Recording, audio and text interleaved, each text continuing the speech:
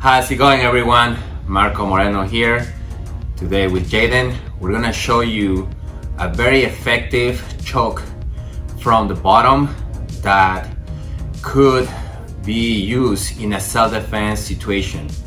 And I like this choke because you can use it in a situation, for example, when you're on the bottom and you don't have room to escape and to get out okay? So you're against a wall or in the back of a car and this choke will incapacitate the attacker if it's well applied. So the first thing if you can is controlling the guy's posture okay? So this is a good defensive position for Jaden to control my head because if he doesn't and the guy wants to get up then the guy can strike from here. But if you control, maybe pull me with your legs, boom, boom, and control the posture, then I cannot get up. Okay? From here, she's gonna start inserting a thumb inside my collar. So this choke is very sneaky. Okay? And then she's gonna start inserting the second hand, palm up. From here, she gets a foot on the hip and an angle and look at this point, he, she has the choke. All she needs to do is cross the feet again and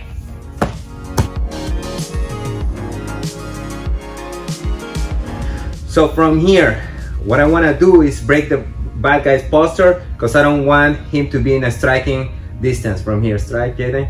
Like from here, kind of strike me. So I'm gonna use my legs to pull the guy and bring him in my, under my control of my arm here, okay? Now from here, I'm gonna start inserting my thumb in the collar right here, okay? Boom, the thumb is in. The second hand goes in, palm up. See, like this. So I have this situation, got it? So look, thumb, and then when the, you insert the second hand, make sure it goes deep. Don't grab. Don't grab here. Go as deep as possible here with the second hand. So insert the thumb, bring the second hand deep. So now you have the choke set up. The guy at this point is not feeling anything. Okay, do you feel choke? No. Right, and it's very unassuming, right? He doesn't feel like nothing's gonna happen, but you put the foot on the hip right here, my left foot on the hip in this case. I'm gonna get the angle. As I get the angle, my elbow loop, and now the guy feels the choke. I cross my legs and what I do is I use my my chest to open to put the pressure on the neck all right? So it's not uh, when you end this choke it's not this okay? It's not that the collars choke the person. The top person should feel the wrist this wrist here on this side and on this side my other wrist. Now when I get the final uh, position is not this, look. It's not me lifting the elbows, okay? When you get here, it's important that you, first of all, close the distance and open your chest, okay? You go like this. The power comes from opening your chest, not from lifting your elbows.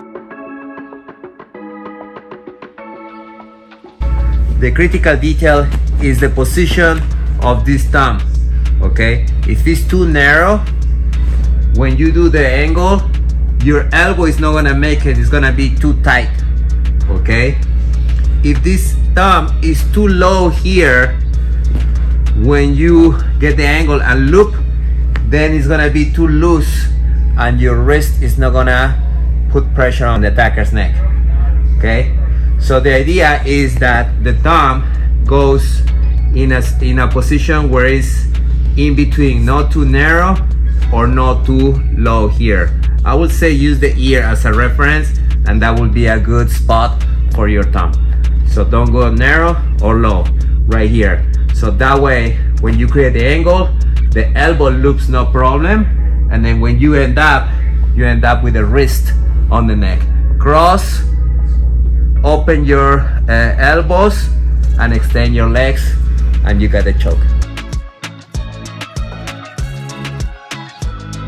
I know what you've been thinking. But what if the guy is not wearing a jacket and he's only wearing a t-shirt? You still can do it if the attacker is wearing a t-shirt. This is how it works. This Jaden. So what Jaden is gonna do when the, the situation comes, she's she's gonna go and grab and gather some material of the t-shirt, right? And from here, once you have a big chunk of material, she's gonna do the same uh, same process. She's already has the thumb. She's gonna come with the second hand, palm up, deep, perfect. And then the guy is right here, right? Put the foot on the hip. You need this angle.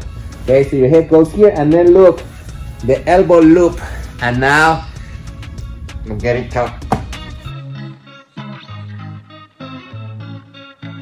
How does this strangulation works? Okay, well, uh, you're applying pressure on the side of the neck, and therefore um, you are cutting circulation to the brain, and the guy, if you keep the pressure, is gonna go to sleep. Okay, how long does it take for him to pass out? Uh, seconds, if well applied, between 5 to 10 seconds. Of course, after the guy pass out, uh, if you keep the choke for a few other 5 seconds or 10 seconds and you release, he's probably gonna wake up and he'll be okay. If you keep the choke for a extended period of time, you can cause some brain damage and even death. Okay, so that's how this choke works. Of course, I will always recommend you to join a Jiu-Jitsu, legit Jiu-Jitsu school. Don't practice at home, but this is the power that you can have if you start learning Jiu-Jitsu. Please subscribe to the channel and leave your comments. I'd like to hear what you want to say about this choke. Thank you.